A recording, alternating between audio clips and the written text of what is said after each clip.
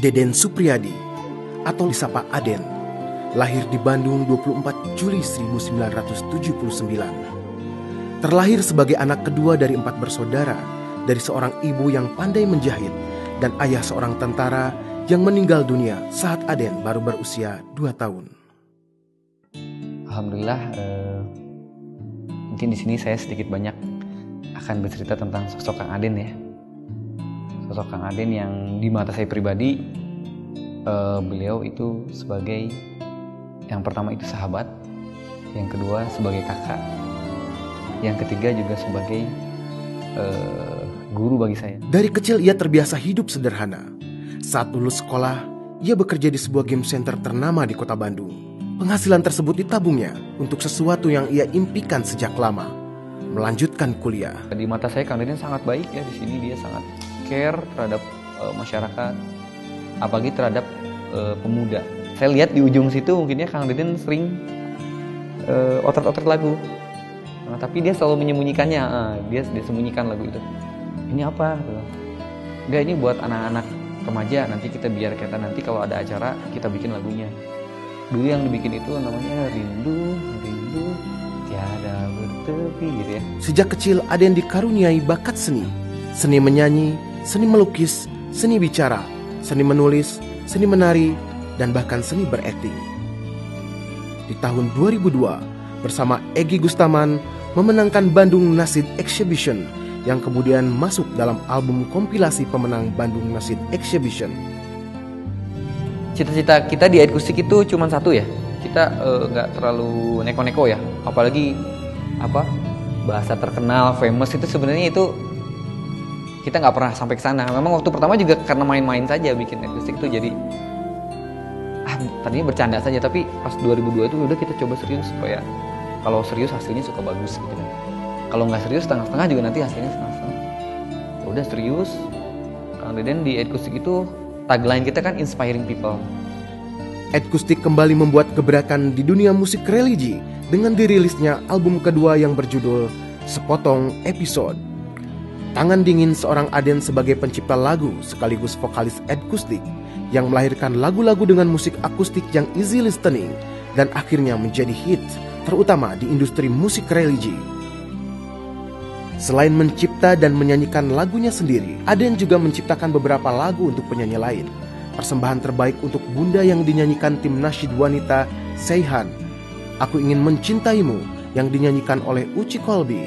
Keimanan oleh Haris Isa dan lagu yang paling fenomenal adalah saat lagu ciptaannya menjadi original soundtrack film ketika cinta bertasbih yang kemudian dipopulerkan oleh Melly Guslau. kita menginspirasi setiap orang. Jadi akustik inspiring people itu warisan almarhum. Mau orang ke Islam, mau siapa pun dia akan terinspirasi dengan lagu kita gitu. Jadi akustik inspiring people. Ya memang sih ingin cita-cita luhurnya ya setelah bisa menginspirasi banyak orang sih eh, jadi legend.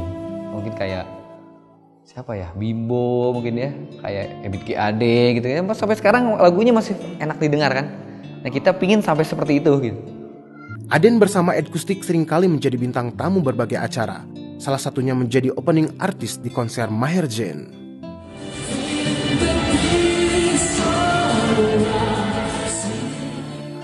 Aden adalah sosok yang mencintai keluarga dan menyukai anak-anak. orangnya sabar gak pernah komen. Terus kalau diminta sama saudara siapa pun bukan satu orang siapa pun dia pasti ditolong. Semampu dia. Kalau pas anak-anak butuh sekolah gitu nggak satu semua. Lebaran ya beli baju satu dibeli semua. Buat 11 orang anak-anak itu nggak nggak oh ini mah ini nggak nggak apa pilih kasih gitu Saat senggang, waktunya dihabiskan bersama lima anak angkatnya.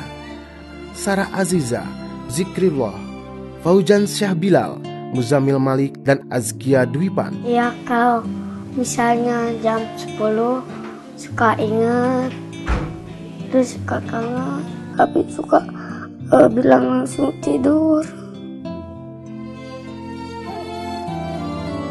dan anak kandung yang begitu dicintai dan dirindukannya, Razika Zimair. Sejak pertengahan tahun 2013, kesehatan Aden mengalami permasalahan, terutama bagian pencernaan. Sakit mah kronis yang membuatnya beberapa kali harus dirawat jalan, bahkan merawat inap di rumah sakit. Kondisinya fluktuatif, sempat membaik, ia menyanggupi permintaan perform di Medan dan beberapa lokasi lainnya.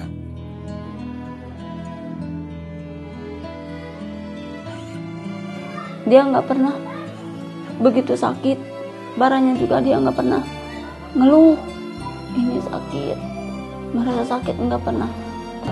Terakhir dia bilang tiga hari sebelum meninggal duduk di situ. Mama jualan lagi asalkan biar ke depannya ada buat makan anak-anak. Saya sempat pijitin kemudian saya belai-belai gitu ya. Nanti cepat sembuh saya bilang tadi cepat sembuh.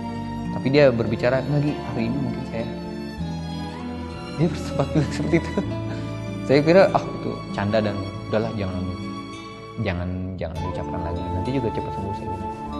Saya pulang jam 7 sudah sudah nggak ada di antar teman kita Daru sama Kang Asep ya, dari BRT tanggal 30 Desember 2013 ada yang dibawa ke rumah sakit Al Islam untuk kembali dirawat namun takdir Allah berkata lain. Ia memanggil Aden untuk kembali ke sisinya. Ya kalau saya sebenarnya secara pribadi masih belum percaya ya. Saya seperti mimpi, hampir setiap hari saya bareng sama beliau. Kalaupun tampil kita berdua bareng, tidur bareng, makan bareng. Makanya saya sampai hari kedua, hari ketiga tuh saya sudah cukup lah bersedih gitu. Makanya saya tak mau nggak mau nangis lagi. Tapi kadang-kadang memang suka inget lagi gitu ya. Beli rumah. Belum tercapai terus ingin anak-anak? Uh, sekolah di modern school itu. Belum tercapai gitu. Gak pengen apa-apa lagi dia. Terima kasih telah mengenalkan kami semua pada indahnya nada-nada berisikan pesan ilahiyah yang lahir dari tanganmu. Semoga kami dapat meneruskan perjuanganmu ini beristirahatlah dengan tenang. Selamat jalan, Aden.